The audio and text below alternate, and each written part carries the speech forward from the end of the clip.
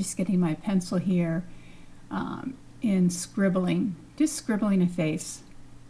It'll all change, but just kind of, and I do have a little reference, I'll show it to you in a minute, but I'm just kind of scribbling in the face and the features, very, very loose, using my um, 0.3 pencil. Just something to get started on.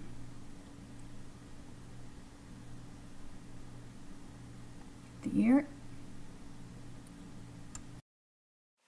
Okay, so I scribbled a face, and now what I'm going to do is, looking back in my experiment here, I'm going to probably use my smaller charcoal.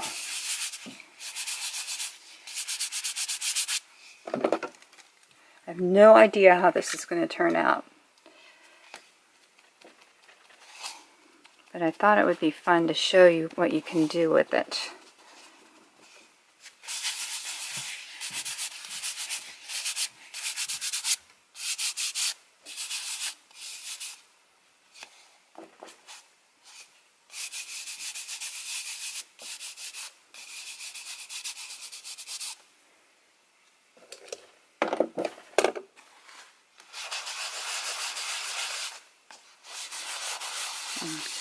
just burnishing that in there.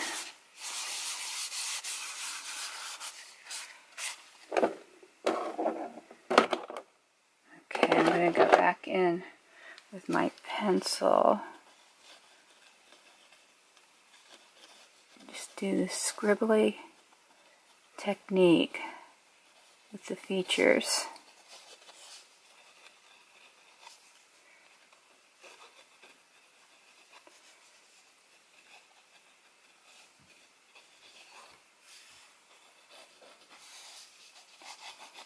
Don't want to lose that scribbly line.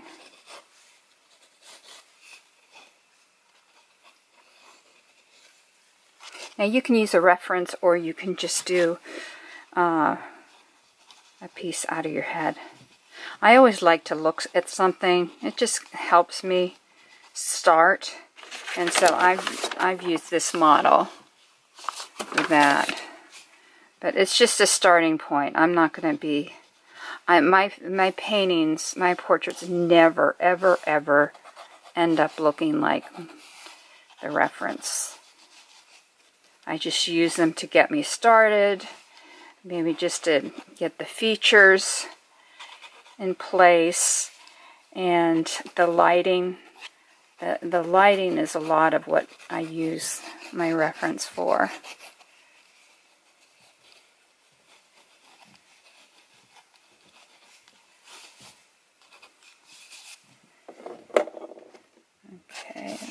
See. I need to get more. I need to.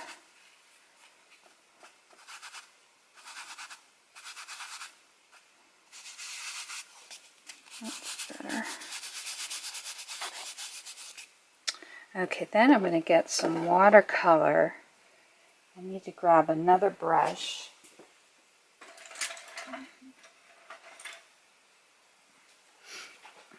Oh, I wanted to tell you, this is a sidebar, about these watercolors by Jasper Stardust. And I believe they're on, he's on Etsy. And his colors are really, the only problem is that he doesn't always have, it's not consistent, the colors he has. Like, I don't even know if he would have this group of colors, uh, or this one. But they're so yummy, and and some of them are not quite translucent. They're a little bit, um, they're a little bit opaque. Um, but I just, I love these colors. So I just wanted to show you. And if you just want to take a look at his site on, on Etsy, Jasper Stardust. They're handmade watercolors and they're beautiful. And maybe I'll use some of that in, in this, but I think I'm going to go just go back to my burgundy yellow ochre. Have my water by me. And I'm taking a this kind of a brush so I can do some... Oh, I forgot. Oh my goodness. I forgot the best thing. Using the walnut oil before I do that. I knew there was something there was something I was forgetting. Okay. Let's see what happens with that.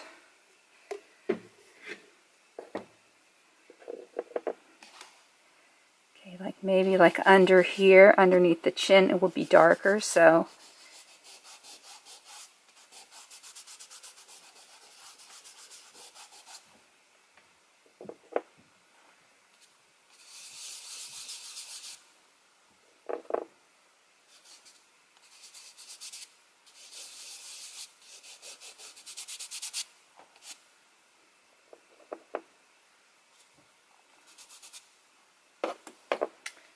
used that cap.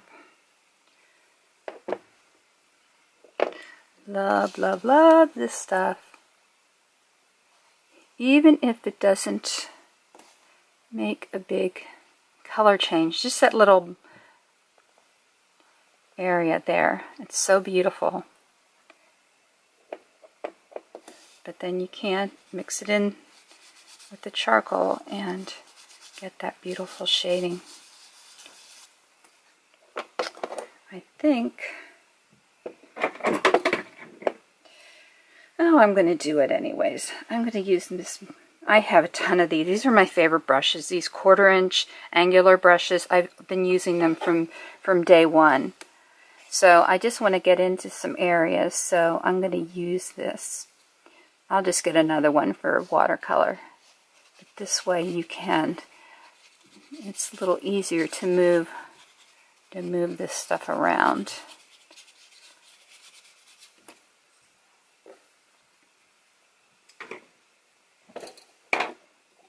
And you know what, I'm going to get, I want to get some regular charcoal so I can go in there and do the eyes. I'll be right back. Okay.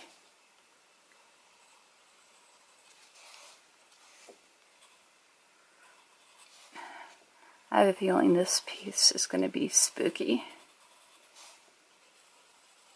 I mean, if you're using techniques that make things look like mold, uh, I think you're going to get kind of a spooky face.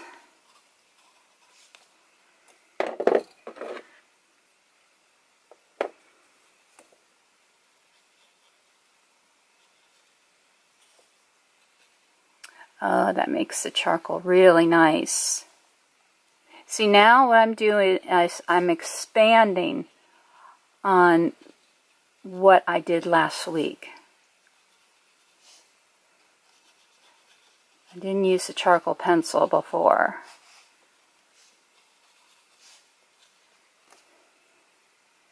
And now I'm using it. Just in certain areas. Or maybe more areas. I don't know. We'll see what happens.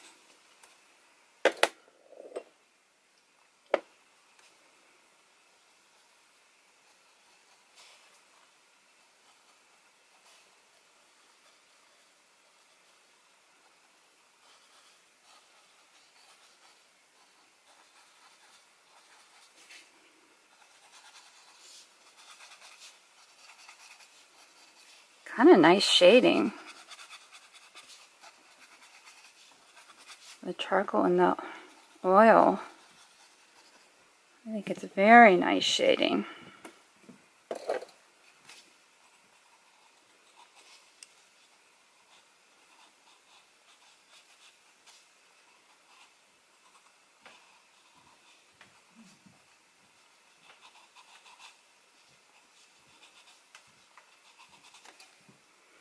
I'm downstairs, so if you hear if you hear walking, um, they're walking above me.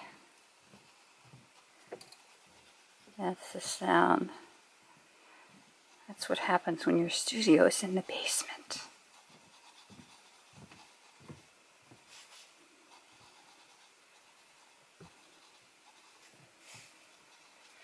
Okay, that's looking really cool.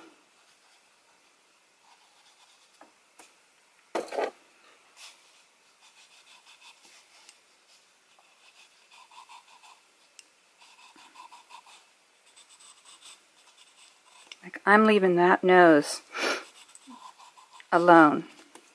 I love how that's shaded with just a little bit of charcoal, not a lot.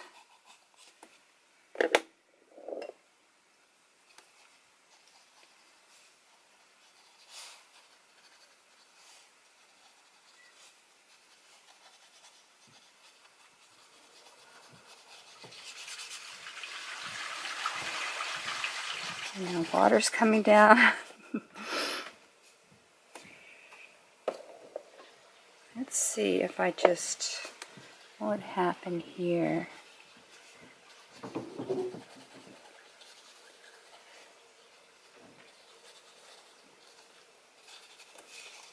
See if that's coming through the other side. Yeah, a little bit. Okay.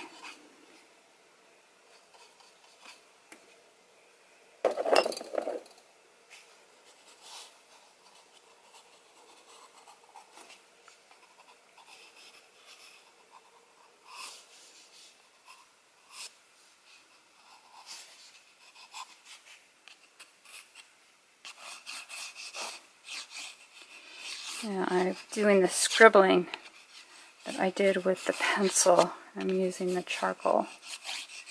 But I'll go back to the pencil for sure.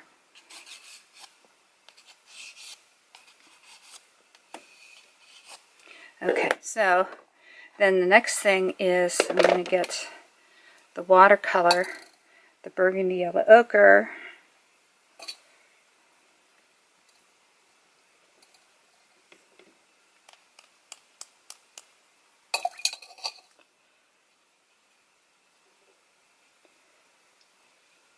some that around.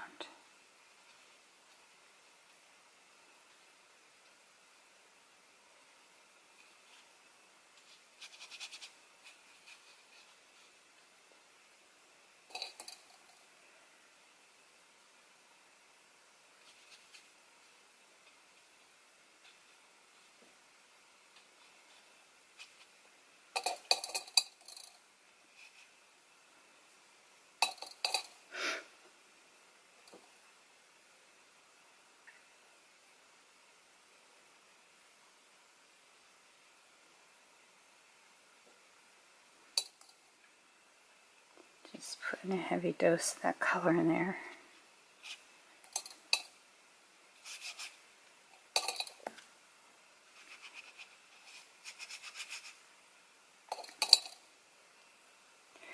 Okay, I just want to try one of these colors just so you can see this color is really pretty.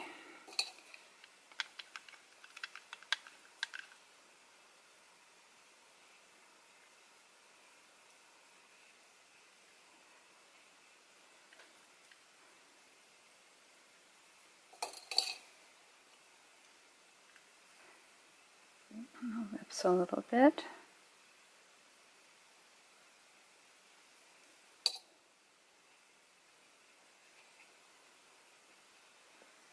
Okay, so that's that part. And then let's see what, oh, okay. So now I go in, I go in with the gesso. And then I'll repeat a lot of this stuff again.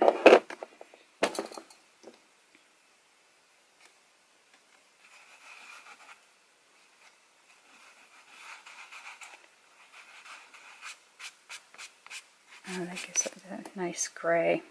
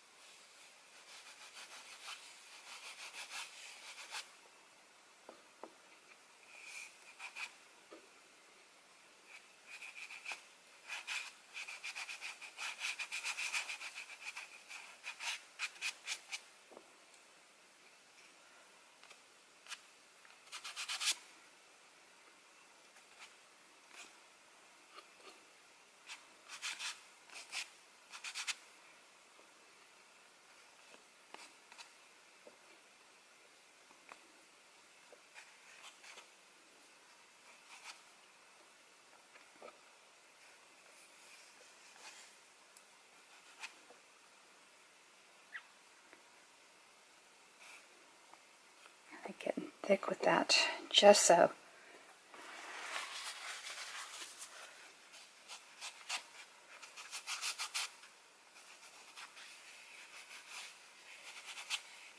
Oh, I like how it's kind of ghosting that eye.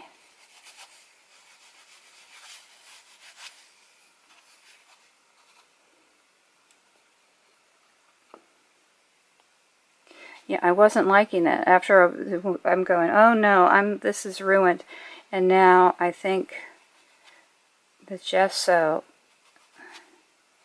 is going to save the day.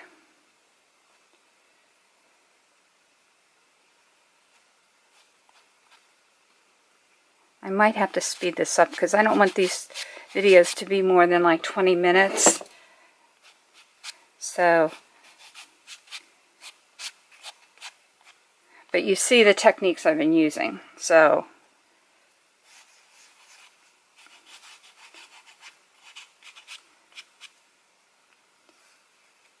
okay.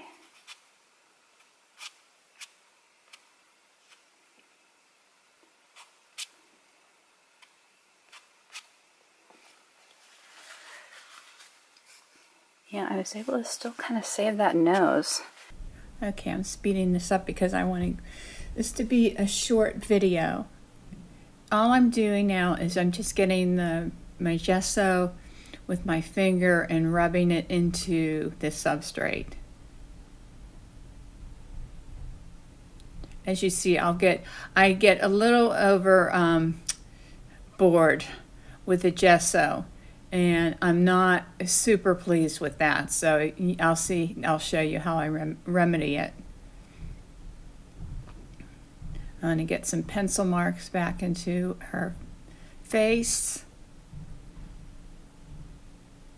And I wasn't really crazy about that color of the lips on there. It just um, didn't seem to work. So I'm kind of getting rid of her mouth with the, the gesso right now. Okay, and then going in with my pencil.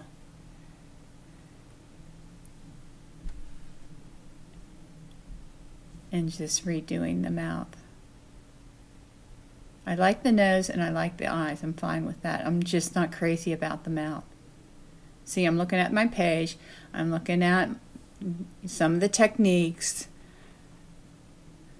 to remind me. That's and that's why it's so good to have a journal and do these little exercises and then do just do a, a little project to you know, to show, you know, to have a record of what you can do with some of these techniques. And I usually do a portrait. I may do an animal or maybe a flower or something like that later on. Uh, but right now this is my this is my go-to. So I'm just doing my pencil marks. So you hold the pencil down a little bit and give this little, it's almost like a tick mark or uh, it just makes the line a little more interesting. I've been doing this forever.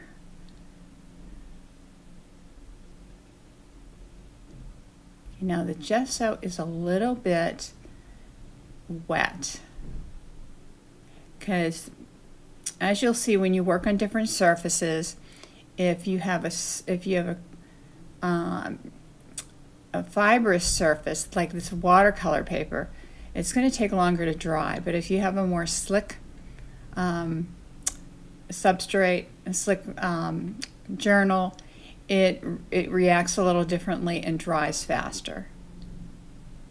And I'm going to do some inserts with some of my uh, paper that I really, really love from my Moleskine journal. I love that paper. I do paintings on it.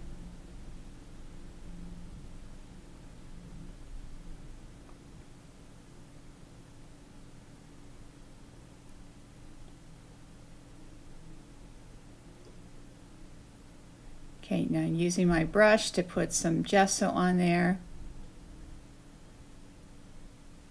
And then you'll see at the end of this, when I stop filming this, this video, I will, well, I'll show you what happens because it was a little bit too white and needed some dark contrast. So I went in there. Well, I'm starting to. I'm starting to go in there with the um, charcoal pouch. to get that kind of moldy effect.